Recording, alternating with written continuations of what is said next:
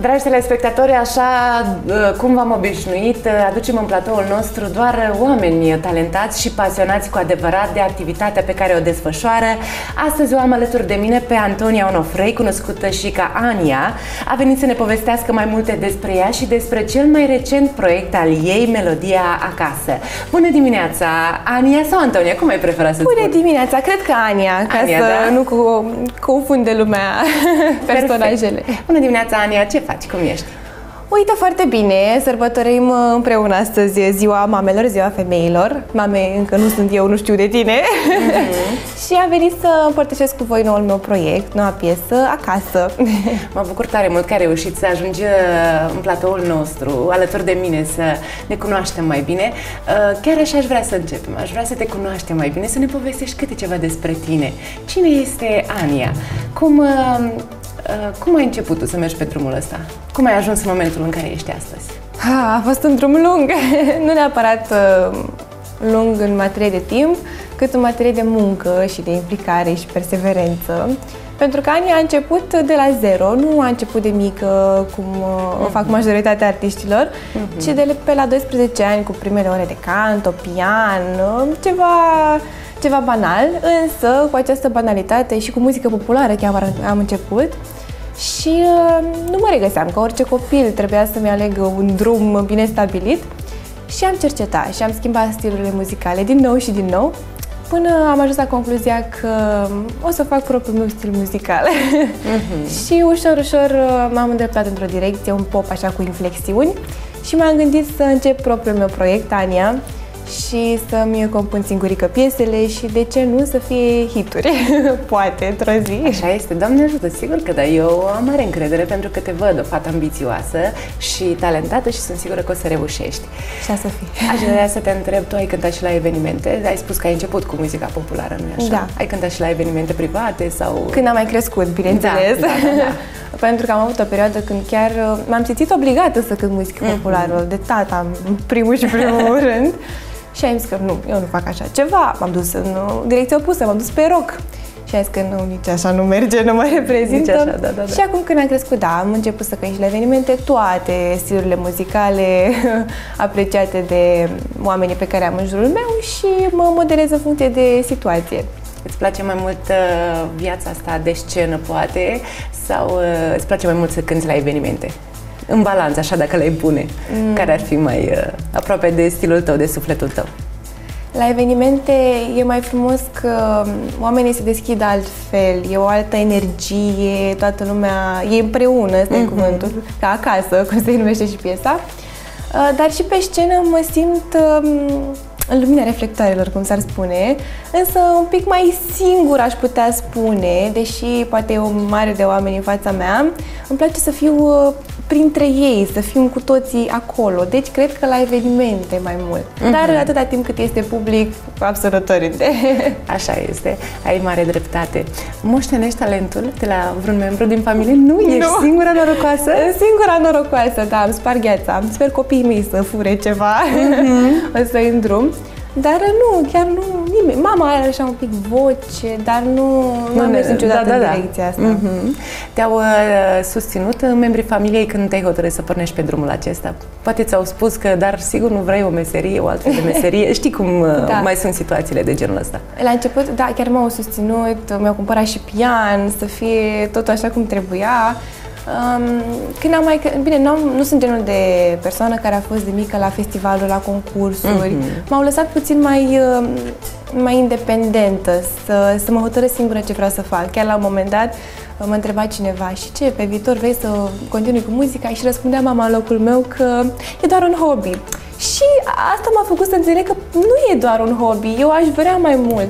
Și cu timpul a înțeles toată lumea că nu e doar un hobby și că asta o să fac toată viața mea. Mm-hmm. și acum toată lumea e păcată cu ideea și mă, mă susțin pe cât de mult posibil.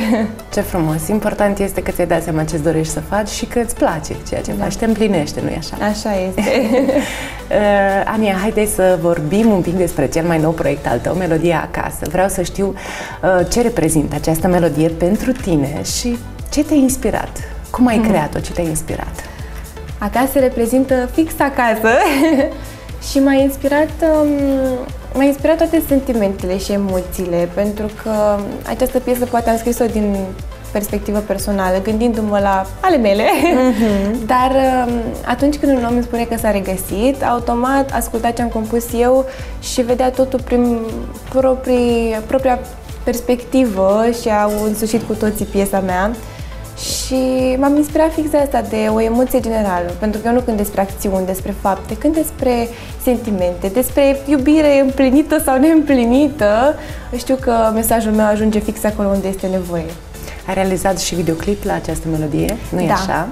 Uh, cum a fost? Vreau să știu dacă ți-ai făcut vreun scenariu, tu în minte, ți-ai imaginat cum ai vrea să fie rezultatul final, poate? Da. Uh, în mintea mea, în momentul în care auzeam demul de la piesă, pe care am făcut-o cu Harala de Gabriel, um, atunci mintea mea a fost exact un videoclip cap-coadă, ca un film și aveam toate cadrele în minte și nu mă așteptam, drept să spun, să iasă chiar ca la mine în imaginație, dar a ieșit fix așa, totul, poate chiar mai frumos, pentru că echipa mea de videografi, Radeș Cucuzei și Minuna Bejnariu, un cuplu foarte frumos, au venit cu foarte, foarte multe propuneri mm-hmm. să contureze detaliile alea.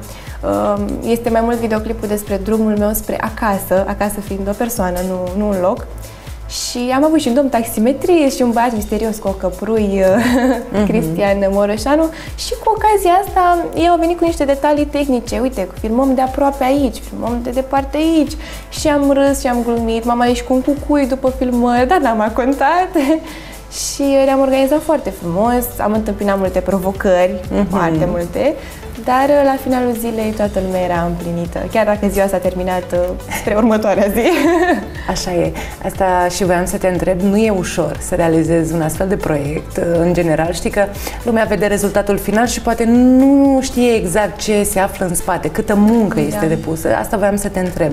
Să ne spui un pic așa pentru tine cam cum a fost ca timp consumat și ca efort depus totul înainte uh, pentru a lansa această melodie în rezultat final. Cam cum a fost ca muncă depusă, cât de greu, cât de mult timp ți-a luat? Munca pentru un astfel de proiect începe cu mult înainte de filmări. Munca începe de când compui versurile, ceea ce am făcut, uh, am făcut acum mult timp. Acum vreo 5 luni am compus eu versurile uh-huh. și erau niște versuri atât de personale încât nu am crezut că o să fac vreodată ceva cu piesa asta, însă i le-am arătat lui Gabi și a zis că trebuie să facem ceva. Bine. Și m-am dus în studio, am făcut și o linie melodică, a ieșit piesa, a venit și el cu niște idei senzaționale. La final chiar uh, este o surpriză în clip, se schimbă puțin registrul. Și um, după, după care vine o perioadă în care, bun, văd și eu demo să mă stabilizez pe piesă, urmată de găsirea unei echipe, unei echipe puternice care să fie alături să mă susțină și după videoclip chiar uh-huh. și filmarea care necesită, adică pe mine mă vedeați una singură, dar în spatele camerelor erau șase oameni care mă făceau să râd teribil uh-huh. și uh, era o atmosferă foarte drăguță și cu toții am ajuns la, la același numitor comun acasă. Ce frumos! Asta e cel mai important, așa și ies uh, rezultatele frumoase când și echipa e ceea ce trebuie și aveți acolo, formați o atmosferă exact. prietenoasă, așa. Uh, Ania, ne mai povestești despre uh, alte proiecte pe care le-ai mai avut uh, până acum. Ai mai lansat uh, și alte melodii, nu-i așa? Da, aceasta a fost a doua piesă a mea. Mm-hmm. Prima piesă se numește Sună-mă și spre marea mea surprindere a prins foarte bine. M-a întrebat toată lumea, cum ai reușit nu știu.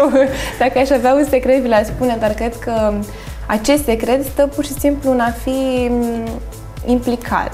Nu neapărat să, pe social media, da, pe social media să distribui, cred că săraci oameni au învățat piesa numai de la mine, de la story, uh-huh. dar și în privat să comunici cu oamenii, să vorbești și am ajuns la 52.000 de vizualizări așa, deodată, eram absolut nimeni uh-huh. și mi-a dat foarte, foarte multă încredere în mine să continui, să, să mă implic în propriul proiect. Normal. Cât de important uh, consider că este social media? Uh, în promovarea activității personale, indiferent de domeniu. Dar acum vorbim despre activitatea ta, dar zic așa în general, cât de importantă crezi că este? Te foarte, ajută mult da, în promovare? foarte, foarte mult, pentru că oamenii petrec foarte mult timp pe social media, poate mai mult decât ar trebui și uh, de acolo și-au doza de informații. Iar uh, ulterior, când uh, văd ceva, nu știu, poate îi apar pur și simplu întâmplător în feed. Dar uh, dacă am făcut bine ce am făcut acolo, o să-i mm-hmm. stârnesc un interes și va intra și din nou și din nou. Poate nu mai vrea să intre, nu mai vrea să mă vadă, dar uh, o să mai apar acolo și o să mai apar și nu se știe când dă de tine cineva care chiar te-ar putea ajuta în carieră, pentru că am trimis piesa și la oameni mult mai influenți în industria muzicală, artiști cunoscuți care mi-au răspuns că le place foarte mult piesa și ține tot așa. Și lucrurile astea dau foarte mult încredere și mă fac să înțeleg că fac bine ceea ce fac și să continui să mă promovez online. Normal, așa este. Uh, te promovezi în mediul online uh, mai mult așa pe partea muzicală sau încerci să fii și un mic influencer? Adică să faci mai multe story-uri sau postări, uh, de, așa, să-ți pui tu amprenta personală? Da. Sau doar pe partea muzicală? Pe care o, le, le faci pe amândouă? Da, prefer să le îmbin, uh-huh. să fiu un om foarte deschis și viața noastră nu e doar viața pe care o vedem în videoclip, este așa mult este. mai complex complexă și nu mă trezesc uh, cu make-up-ul și cu această ținută, nu. Nici gând. Nici gând. și e foarte multă muncă, dar uh, prefer oamenii să mă cunoască um, și când am o stare poate nu așa de bună și artiștii plâng câteodată. Așa este. și um, prefer să fiu cât de autentică posibil. Uh-huh. Uh, ce reacție au avut colegii, prietenii când uh, ai urcat așa treptele astea spre, spre uh, spre muzică, spre locul în care te afli astăzi. Chiar uh, râdeau de mine că... Serios? Da, da, da. Era foarte, foarte comic pentru că eu am pornit uh, de la un cover, muzică rock în engleză, ceva așa. Cu totul alt stil, nu? Cu totul alt stil. Și um, atunci chiar era foarte comic ce se întâmpla acolo, iar acum văzând că sună, mă, prima mea piesă a fost mai spre manear, zice unii, spre popar, zice alții, e o combinație. E o combinație, da, da, da. Da. Um, văzând că s-a schimbat totul complet, am făcut eu acolo și videoclip și deja le-am strânit un pic interesul. Iar când a venit această piesă acasă, au rămas de dreptul șocați pentru că am primit comentarii atât de frumoase. Chiar um, um, o colegă din liceu mi-a zis că aveam nevoie de piesa asta și nu poate decât să mă bucure, să mă emoționeze faptul că piesa mea a ajuns acolo unde trebuie. Nu contează că eu un om, că sunt 50 de mii, un milion. Uh-huh. Dacă am făcut un suflet să simtă ceva, înseamnă că mi-am îndeplinit misiunea. Exact, asta e important că într-adevăr ai oferit uh, niște sentimente prin uh, activitatea ta, prin munca ta și asta e, e foarte frumos și cel mai important. Um, Aș vrea să știu uh, dacă ai uh, în minte deja, deși tu te bucuri acum de momentul prezent, dar uh, dacă ai în minte deja vreun proiect viitor, să spunem. Ți-ai dori să lansezi o altă melodie, ai cumva pregătit ceva, dar nu e finalizat încă sau un orice proiect Am ai pregătite foarte multe schițe okay. și cred că e mai greu când ai de unde alege, pentru că atunci când ai un proiect bun, uh-huh. un mhm. proiect lăudat, apreciat, ți-ai dori să faci și mai bine sau Corect. măcar la fel de bine. Corect. Și este o presiune foarte mare. Oare e suficient de bun? Bun, am foarte multe, dar care e cea mai bună variantă pe care aș putea să o aleg? Și uh, da, am câteva, câteva idei în minte. Următoarea piesă va fi mm, mai ritmată, va, mm-hmm. va avea un mesaj uh, diferit pentru altă categorie socială, poate. Și uh, vreau să vin mereu cu ceva nou pe cât posibil. Ce frumos! Cumva, de-a lungul timpului, momentan, adică ai uh, toată viața în față exact. și uh, ai tot ce trebuie să reușești, dar zic așa, până în prezent, ai întâlnit cumva impedimente, obstacole? Știi, ce mă, da. știi la ce mă refer? Ori oameni care poate au încercat să-ți spună piedici sau situații neprevăzute. Ceva anume. Ai întâlnit? Da. Cred Îmi că... Ne povestești un pic să... un pic. Te rog. Cred că, în primul rând, ca fată, ca femeie, într-o industrie, fie ea muzicală, fie, nu știu, în medicină, mm-hmm. vorbim despre muzică. Este foarte greu să te faci remarcat uh, doar prin proiectele tale, mm-hmm. pentru că mereu o să vină anumite propuneri diverse, foarte diverse, și ca artist, la început, trebuie să dai seama când să pui piciorul în prag, când Așa e o alegere bună, când nu e și să întorci o decizie pe toate părțile înainte să iei. Pentru că câteodată avem doar o secundă să luăm o decizie și trebuie cumva să ne pregătim dinainte, să ne calculăm foarte bine variantele, fiindcă lumea nu e roz și toată lumea o să își încerce norocul uh, de multe ori mm-hmm. și trebuie să, să fii conștient ce, cum ești dispus să faci, dacă merită sau nu. Așa este, ai mare dreptate. Uh, cum ți-ar plăcea să te perceapă publicul așa? Acum cât te lansezi și în continuare, când tot vei crește, vei crește, cum ai vrea să te vadă oamenii? Ce fel de om și de artist ai vrea să fii? Chiar a fost uh, un lucru foarte dificil la început să-mi aleg un tipar, cumva, mm-hmm. un tipar al meu. Și puteam să fiu aia nebunatică, puteam să fiu aia nu știu cum. Și am ales să fiu uh, eu, o persoană cât se poate de natural. Dacă o gafez, o gafez, îmi asum și vreau să, să am doza aia de încredere când cineva se uită la mine să se simtă și el încrezător, uh-huh. parcă să, să influențeze energia din, din jurul meu. Și aș vrea când oamenii se uită sau ascultă pe Ania să simtă că că, nu știu, că face un lucru bun, că și ar putea să facă asta dacă, dacă s-ar dedica, că nimic nu e imposibil și că ar putea să reușească, trebuie doar să încerce. Și eu am încercat de multe ori până să-mi iasă ceva. Uh, a, că tot ai adus vorba, da, corect. Asta vreau să te întreb, ți ieșit din prima sau uh, nu, nu, a fost, uh, nu a fost cu succes din prima, adică a fost un pic de muncă, nu-i așa? Da, nu mi-a ieșit din prima, bineînțeles. Chiar uh, au fost momente, nu, nu m-am gândit niciodată să renunț la muzică, dar au fost momente în care mă gândeam, oare bine ce fac? Oare mm-hmm. chiar trebuie să merg în direcția asta, să mai încerc ceva, să mai și chiar a fost vorba să mă duc la drept, uh-huh. dar ar fi semnat să renunț la viața mea publică, n-aș putut să mă dedic la fel. Și dacă am pus în balanță și pentru mine muzica a fost prioritară, înseamnă că asta era ceea ce trebuie să fac. Uh-huh. Și bineînțeles că am, am scris piese, acum dacă le citesc mi se par oribile, atunci mi se păreau superbe. și am luat și părerile din jurul meu și am luat criticile ca pe ceva constructiv și uh, am încercat să le pun pe toate la un loc, astfel încât uh, la un moment dat să-mi iasă. Ce frumos! Ania, mai ai și alte pasiuni în afară de muzică? Sunt curioasă. În timpul tău liber sau oricând altcândva? Mm. Mai ai și alte pasiuni? Da, mai am pasiune, nu știu, îmi place să dansez, mm-hmm. dar în niciun caz de performanță, însă ca și pasiune aș pune faptul că am lucrat cu, cu cei mici, am lucrat cu niște copii uh, din, din cadrul Salvați Copiii mm-hmm. și am predat la clase, din nou în centre educaționale. Și la fel îmi place sufletul de bucurie și îmi dădea forță să merg mai departe, să mai fac, chiar uh, niște elevi de-ai mei, sună ciudat, dar elevi de-ai mei, mi-au urmărit activitatea și în online uh-huh. și au observat că eu am început să postez piese și mi-au scris și e foarte frumos să scrie un copil că Doamne, doamne, mi-a plăcut piesa dumneavoastră. Nu că dumneavoastră, nu. Da, da, da. da adică să vezi uh, această empatie, fie de la un copil de 9 ani, fie de la o femeie de 30 de ani, faptul că oamenii se regăsesc și că le place, mă bucură enorm. Ce frumos, Ania. Deci, uh, deci mai ai și alte înclinații, cum s-ar spune. Așa e. E tare frumos, mă, mă bucur tare mult că te cunosc acum mai bine. Ce, ce sfaturi ai avea tu așa, din punctul tău de vedere până în momentul în care te afli astăzi, din experiența ta de până, până acum, ce sfaturi ai avea pentru persoanele, pentru copilași, poate, care ar vrea să pornească pe acest drum, dar, na, poate nu au neapărat curajul necesar sau uh-huh. se gândesc să dea înapoi, nu știu. Deci, ce sfaturi ai avea? Sfatul meu numărul unu este să-și asculte instinctul primul sentiment e întotdeauna cel mai bun.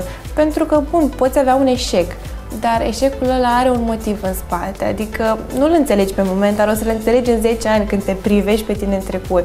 Și dacă faci ceea ce simți, te conectezi foarte, foarte bine la tine însuți, pentru că al nostru corp și suflet știe absolut tot, trebuie doar să, să fim atenți și să primim răspunsul de care avem nevoie. Nu zic, trebuie puțin să ne calculăm, dar în fața a ce e logic, a ce e corect din punct de vedere social, stau uh, sentimentele noastre și ce simțim noi că e corect, e, e subiectiv lucru. Și să facă întotdeauna ceea ce simt. Ce frumos ai spus, foarte, foarte frumos și foarte încurajator, așa mi se pare. Îți mulțumim tare mult, Ania, pentru că ai acceptat invitația noastră și ne-ai împărtășit atâtea lucruri frumoase despre tine și despre proiectele tale.